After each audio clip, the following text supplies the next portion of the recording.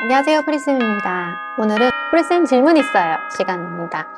우리가 어, 프리쌤 화훼장식기능사 필기 실기 무료 인강 우리 카페에 가시면 어, 영상도 보실 수 있고 또 그간에 집에서 연습하시는 분들이 제 작품을 한번 봐주세요 선생님 하고 올리시거든요. 그래서 이 오늘은 그 사진들을 보면서 어, 또 다른 사람의 작품도 한번 감상해 보시고요 혹은 어떻게 수정하면 더 모양이 좋을까? 이런 거 한번 봐볼게요.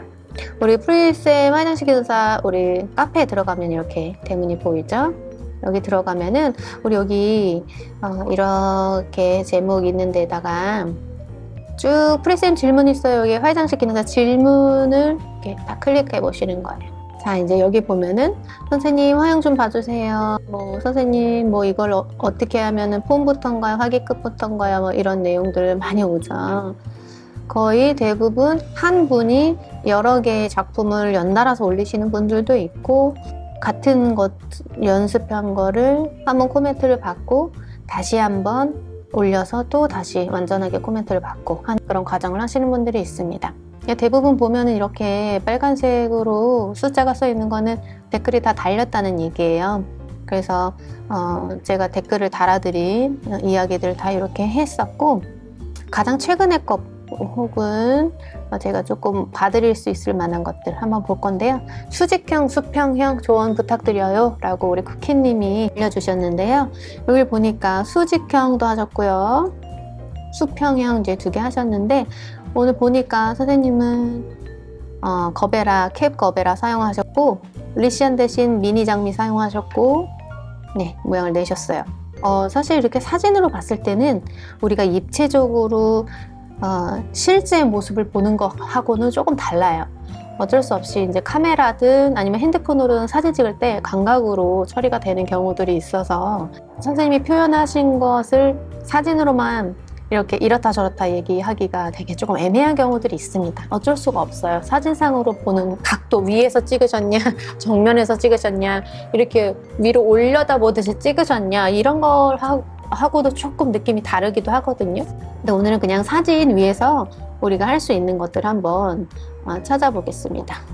전체적으로 수직형이 되어 있는데 이거는 제가 보기에 선생님이 약간 사진을 완전히 정면이 아니라 약간 이렇게 좀 틀어놓고서 찍으신 것 같아요.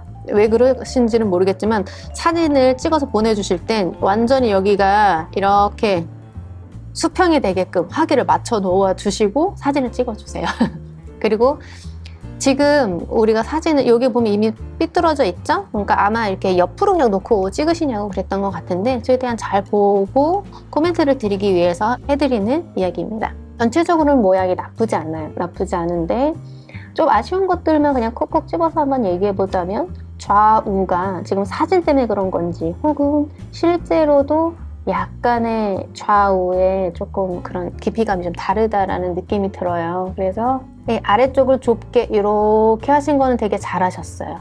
이 거베라가 사실 이쪽으로 조금만 더 와도 괜찮아요. 이렇게. 혹은 우리가 거베라를 어, 이렇게 꽂아야지 이렇게 꽂으면 얼굴이 들려요. 어, 무슨 얘기인지 아세요? 어, 이렇게 꽂으셔야 돼요. 이쪽으로 이렇게. 그러니까 바닥에 오는 애들은 무조건 0도로 꽂으신다고 생각하셔야 돼요. 0도. 0도. 그리고 얘는 무조건 어떻게 해요? 90도. 음.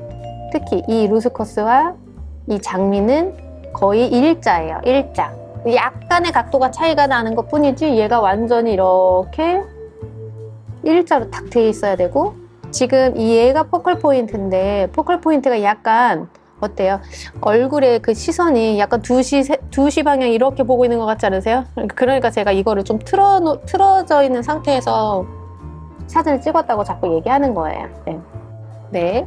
그리고, 어, 이거는 개인의 선택이라고 말씀을 드렸지만, 캡 거베라를 어떤 거는 씌우고 어떤 거는 벗기고 사용하셨어요. 근데 그것의 감점 요소는 제가 정확하게 말씀을 드릴 수가 없습니다. 왜 이건 안 벗겼어? 왜 이거는 벗겼어? 이게 어, 점수에 어떤 마이너스가 될지 혹은 뭐 마이너스가 안 될 수도 있어요. 근데 그런 거를 뭐 다른 학원에서 배우셨는지는 모르겠지만 그냥 동일하게 그냥 하셔도 되고 아니면 아예 벗기시지 않던지 하던지 어, 그렇게 생각하시는 게 더 좋을 것 같고 리시안서스가 아니라 미니 장미를 쓰셨기 때문에 조금 더 슬림한 듯한 수직을 나타내는데 좋은 것 같아요. 그런 대신 이런 부분들은 되게 지저분해 보일 수 있어요. 요런데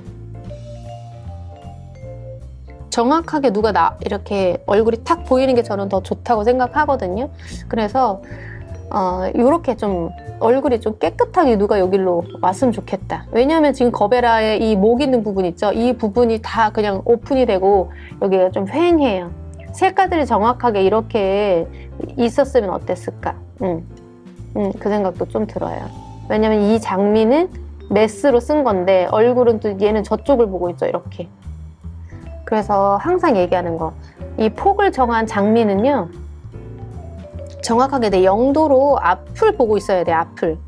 그러니까 이 높이를 정하고 폭을 정한 이 장미는요, 말 그대로 이렇게 높이를 정했어요. 그 다음에 얘는 폭이에요. 이게 90도가 된다고 생각해 주시면 좋을 것 같아요. 어, 그래서 여기 보시면 잘 올라갔어요. 이렇게, 이렇게. 수직으로 잘, 잘 올라가는데 저는 요런 부분도 조금 아쉬워요. 요런데. 여기에 소국이든 미니 장미든 더 올 수 있었을 것 같아요. 여기 붙여놓으란 얘기가 아니에요. 뒤에 꽃이 있었어도 좋았을 것 같아요. 얘는 사실 오바됐죠. 이쪽 부분은. 여기는 없었어야 돼요. 슬림하게 수직을 만드는 데는 어, 무리는 없었다. 그 대신 이런 부분들 있죠. 이렇게 노출된 거베라 줄기들 좀 가리는 루스커스가 있었으면 어땠을까 이렇게. 혹은 정확하게 미니 장미로 앞을 가려주던가. 아까 얘기했던 거 여기 이런. 이런데 정확하게 꽃들이 있었어야지. 조금 더 여기는 중심이에요 중심. 그래서 최대한 깨끗하게 만들어 주시는 게 제일 좋아요.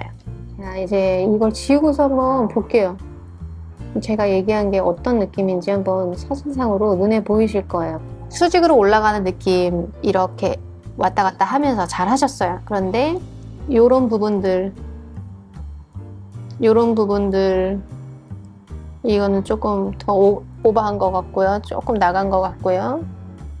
네, 이런 것만 조금 더. 그리고 여기 여기 제대로 가리셔야 돼요. 그 정면에서 봤을 때 이 포컬 포인트가 가장 예쁘고 화려한 거를 두는 건 맞지만 이 밑에 부분이 휑하면 안 돼요. 그래서 물론 우리가 얘를 45도 각도로 넣어야 되는 거는 맞는데 45도 각도를 했을 때 여기 아래 부분이 깨끗하게 다른 소재로 가려져야 돼요. 음. 그러기에는 미니 장미가 조금 아쉽다라는 생각이 들어요. 가격 때문에 미니 장미를 사셨을 수도 있지만 그래서 아니면 이런 작은 꽃들이 정확하게 정면 보게끔 루스커스를 정확하게 넣어주시든지 이 포컬 포인트 이 아랫부분 있죠? 이렇게 45도로 드셨을 때 이 아랫부분의 목이 노출되는 것들을 조금 주의하셨으면 좋겠다 라는 생각이 듭니다. 이제 수평을 한번 볼게요. 네, 수평을 보면요. 아까 제가 얘기한 것처럼 focal point라고 여길 만한 45도 각도 꽃 밑에 여기 부분이 초록색이 많이 노출이 됐죠.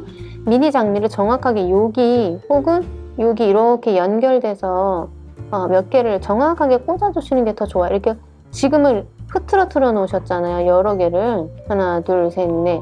이 아마도 얘를 중심으로 ruscus를 넣고 아마 미니 장미를 여기, 여기, 여기, 여기 이렇게 일부러 이렇게 넣으신 것 같아요. 이렇게. 전체적인 모양은 나쁘지 않다. 어, 잘하셨어요. 옆으로 가는 거. 어, 밖으로 뻗어 나가듯이 이렇게 잘하셨고 좌우 대칭이 조금 더 맞았으면 좋겠어요.